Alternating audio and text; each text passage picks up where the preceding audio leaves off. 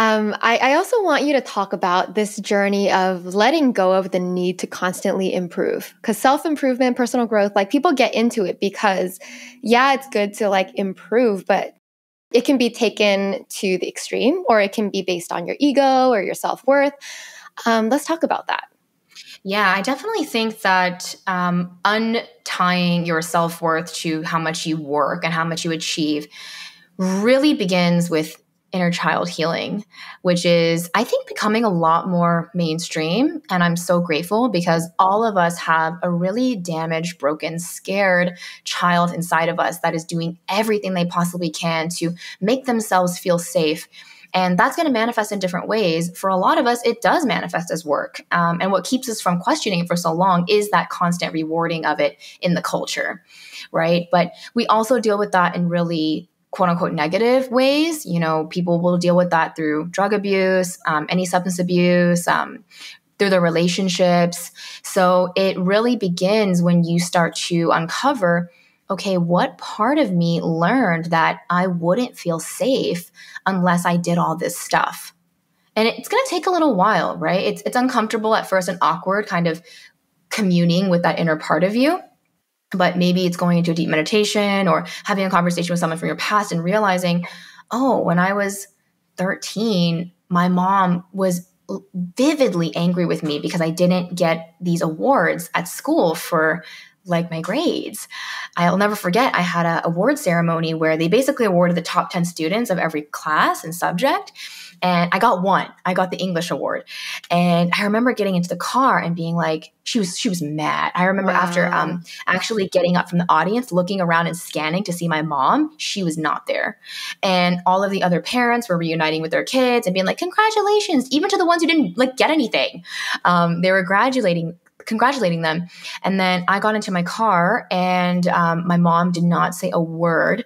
And on the way home, I said, at least I got one nothing. Nothing.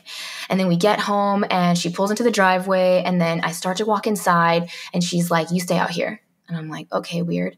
And then she comes out and she has this huge stack of glass plates and just literally starts hurling them at the oh ground. Oh my God. In just sheer anger, oh a literal tantrum. Yeah. And so in that moment, I went into like a freeze yeah. nervous system response. I was like, I don't know what's ha- I'm so oh, what's happening. She's so mad.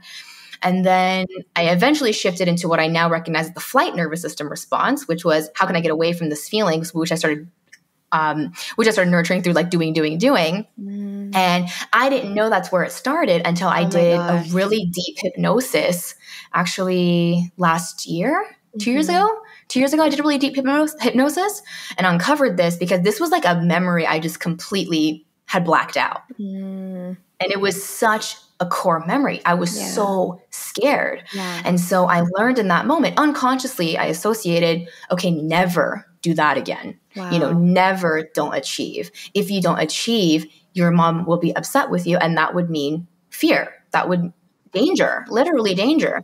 And, you know, to the logical mind, the reason why healing can be so difficult is you might recall a memory and think, oh, but that's so long ago. Like, who cares?